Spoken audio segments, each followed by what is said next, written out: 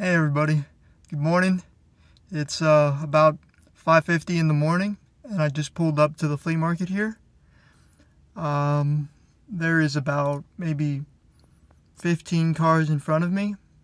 So I will most likely be at the very end of the first row or at the beginning of the second row. Um, I think that's a pretty good spot to be in. You know, people come in where most people are going to come in through the entrance of the flea market. So being at the very beginning is good because uh, the further along you go, for most people, you know, they're going to get more tired from doing so much walking.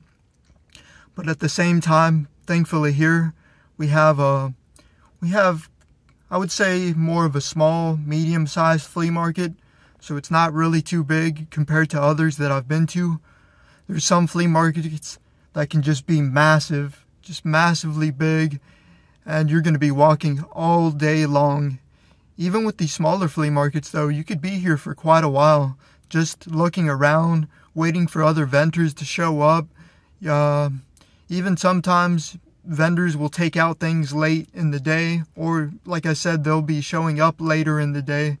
So it's good to wait, even if you show up really early if you have nothing else to do or if you don't have any other places to go to, it's good to wait at least a few hours at the same flea market because uh, new people are going to be coming in and things that you didn't see early in the day, you might be seeing newer things later on in the day. So, a little bit about this flea market, as I already mentioned, it's more of a uh, medium sized to small, more more on the smaller side, and it's only open one day a week on Sundays. Uh, it's going to open at 6.30, so everyone starts coming in before that. The closer it gets to 6.30, more and more people start coming in and lining up quickly. Uh, you can either choose to line up if you are a vendor, or you can uh, wait in the parking lot and wait for all the vendors to start setting up, which is uh, which is what some people will do. Um, of course, the first people in line get to set up first, so there's a little bit of an advantage to, uh, to being first in line, of course. Uh, along with you're at the very entrance, you you're going to set up at the very entrance of the flea market. So, um, yeah, this flea market opens. This flea market opens once a week on Sundays. Others could be open Monday, Tuesday. Others could be open the whole week, uh, maybe five days of the week from Wednesday to Sunday, Thursday to Sunday. Um, some of them are only open, you know, Tuesday, Wednesday, and Thursday.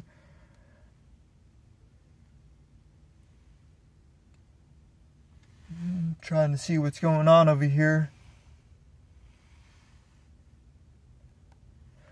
All right, so the things that we took with us today, uh, we definitely have a lot, a lot of clothes. I got the 50 cents clothes uh, of just all t-shirts, and then I got pants that are a dollar, and those are always big sellers.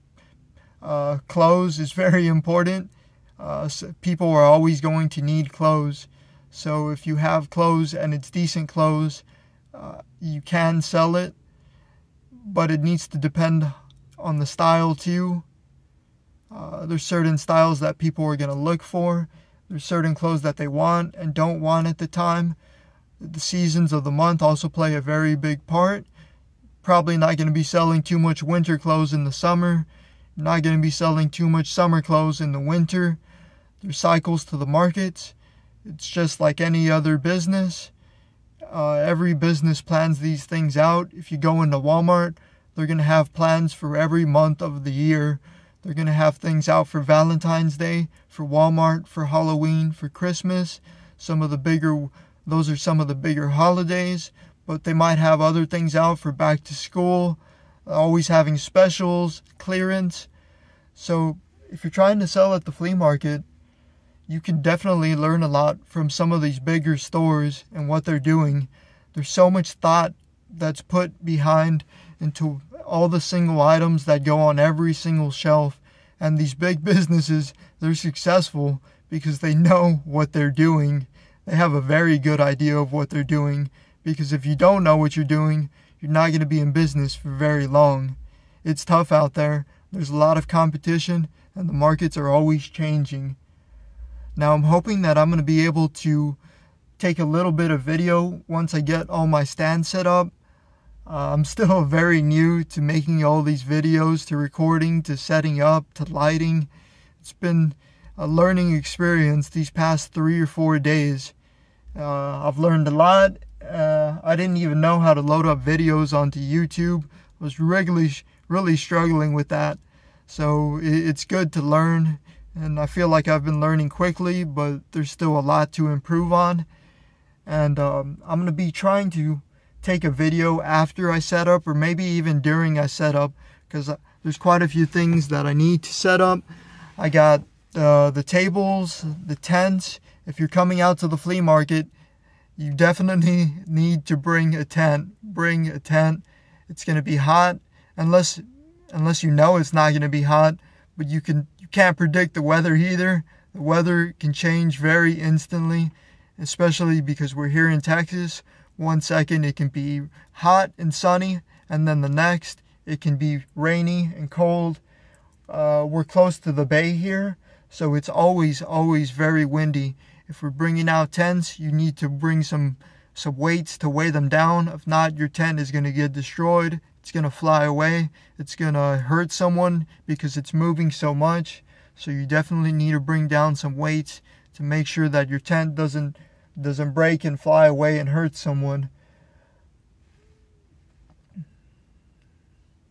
Um, back to what I was saying though, um, yeah, I want to try filming some video as I set up, or at least after I set up, to show you what I'm going to have on my tables one of the other things that you have to consider is that every single market is different from city to city, from town to town, uh, even from one part of the city to the next part of the city, uh, from state to state, from coast to coast. Every single market is different, and in every market, people are looking for different things. What sells at this flea market may not sell at the other flea market.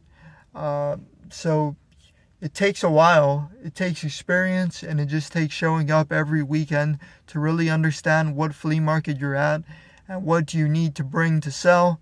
But of course, every vendor is entitled to bring whatever they'd like, and there's so many ways to make money at the flea market. You can sell food, you can sell goods, you can sell used things, you can sell new things. Uh, it just goes on and on. So just understand you have to understand more importantly uh, what flea market you're coming to and what the people are looking for, and of course, uh, how much they're willing to pay for it.